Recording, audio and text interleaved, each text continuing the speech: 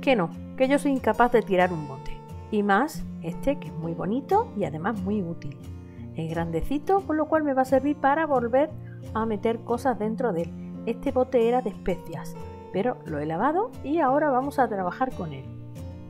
Empiezo poniendo cinta, bueno en este caso washi tape, pero podéis poner cinta de carrocero o cinta de pintor para delimitar lo que es el centro del bote que es donde vamos a trabajar.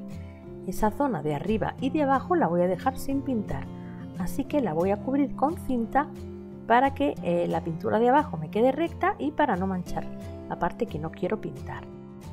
Y una vez delimitada la zona que no voy a pintar, voy a aplicar con una esponja una capa de gesso o imprimación. Ya sabéis que eh, el plástico es una superficie difícil de pintar, así que con esta capa de imprimación vamos a conseguir que cualquier tipo de pintura nos agarre bien sobre el plástico. Y aplico la imprimación con una esponja para que me cree un poquito de textura. Con el pincel se nos notan las pinceladas y no queda bonito, así es que con la esponjita vamos a aplicar el gesso o la imprimación en este caso sobre toda la superficie central del bote.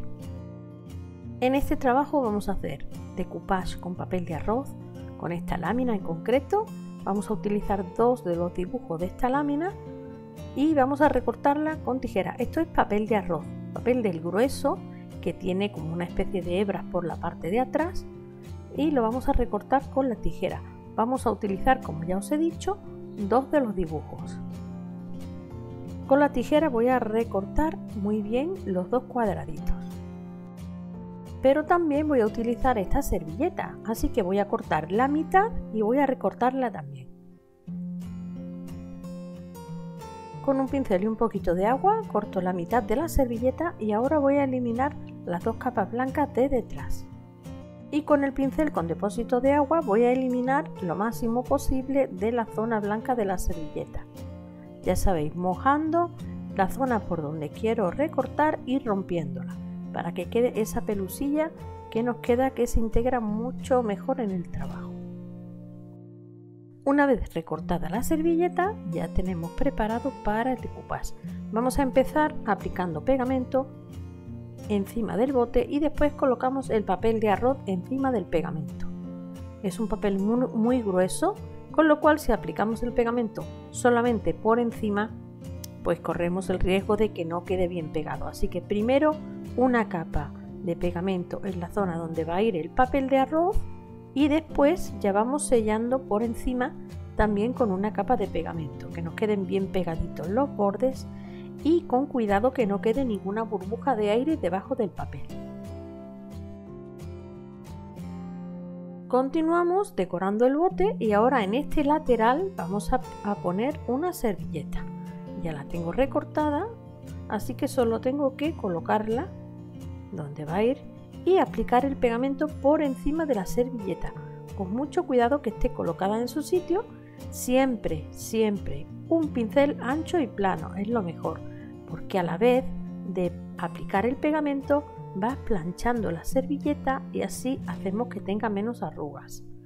Vamos colocando suavemente el pegamento por encima y ajustándonos a los resaltes que tiene el bote en la superficie.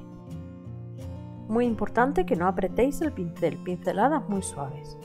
Dejamos secar el decoupage de estas dos caras que hemos hecho para continuar después haciendo las otras dos para que no se nos estropee el trabajo y volvemos a hacer lo mismo aplicamos una capa de pegamento para el papel de arroz extendemos muy bien para que quede el pegamento por todas partes bien extendidos y colocamos el papel en su sitio una vez colocado ya aplicamos una capa por encima del papel para sellarlo y sacar las posibles burbujas de aire que puedan quedar debajo del papel es importante que las dos primeras caras de decoupage que hacemos sequen para continuar decorando el bote. ¿Por qué? Porque si ponemos el bote boca abajo para continuar, la capa de abajo que está contra la mesa se nos va a arruinar. Así que tenemos que tener un poquito de paciencia. Esto es un hobby, hay que disfrutarlo. Así que dejamos secar las dos caras primeras antes de continuar con la segunda cara y la tercera. Ya se ha secado el decoupage y ahora vamos a aplicar una capa de barniz perlado. Si no tenemos este producto, echamos un par de gotas de pintura eh, metalizada plata o pintura metalizada color perla en el barniz, lo movemos muy bien y nos da este aspecto barniz brillo perlado. También podemos obtener este resultado aplicando cera perlada. Una vez se ha secado este barniz perlado, vamos a retirar la cinta protectora que pusimos al principio, cinta de carrocero o así tape, lo que hayáis puesto. Y para adornar el borde, para que no me quede tan soso, voy a poner una cinta de algodón y la voy a pegar con silicona caliente. Como siempre os digo, esto es opcional. Podéis poner una cinta de perlitas, como he hecho yo, esta cinta de algodón, encaje, algún lazo, porque creo que el borde queda mucho más pulido, más bonito si lo rematamos de esta forma. Se me ocurre también un trocito de cuerda de cáñamo, así atado alrededor. Ya lo dejo a tu elección, lo que más te guste. En las manualidades siempre hay que adaptarse a los materiales que tengamos.